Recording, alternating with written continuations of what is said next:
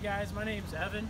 I own a mobile fleet washing company, and here I have the Hot to Go uh, 4000 psi pressure washer. The unit number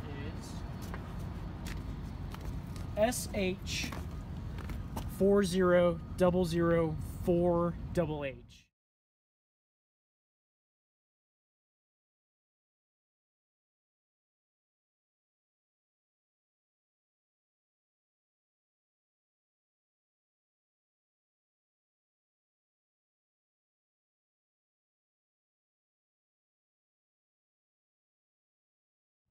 And it's uh, again it's a 4000 psi heated pressure washer with electric start. Real fast. We'll kind of go down the basics real fast. This is your pump okay? I've just got it going to a just a water tank. It goes to a little electric pump to put water to the pump so that way you get full pressure. And this is your sight glass for the oil for the pump. There are two oil reservoirs. You have the pump that has its sight glass there. That's its oil reservoir. Then you have the engine's oil reservoir here. The fill and the dipstick are right here. Fill, dipstick. You've got all your nozzles here.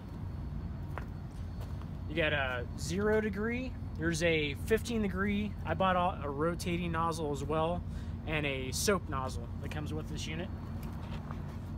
This is your thermostat and your diesel uh, switch to turn diesel on and off and your circuit breaker. Gas tank. This is your on and off start switch for the electric start. Choke. It's in choke right now. I want to turn the fuel on let the fuel go into the engine. Exit port. I've got it hooked up to Hot to Go's soap injector. You just drop that into the into the barrel of soap. This is your meter. Turn it all the way open for on and close it when you're not using it and this is your hot water tank. You can start this engine either by cranking it with the electric start, which just has a regular battery, car battery in it, or you can pull start it as well.